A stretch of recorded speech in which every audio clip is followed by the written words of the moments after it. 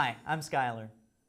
Dropbox, Google Drive, these things are great for storing reports and backups of your QuickBooks information. But if you want to store your actual QuickBooks database in the cloud, I don't recommend using either of these products, and neither does QuickBooks. They do recommend several cloud-based hosting solutions or using QuickBooks Online. Let's take a look at QuickBooks Online, and here you see the basic pricing scheme you can see it gets more expensive if you've got some serious business to do. What they recommend for hosted applications of QuickBooks are these two companies, Right Networks and Harbor Cloud.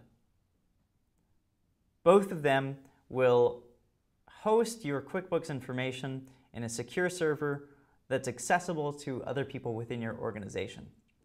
So rather than trying to make it work with Google Drive on your own, I recommend looking into one of these services first, because otherwise you may end up underwater pretty quickly.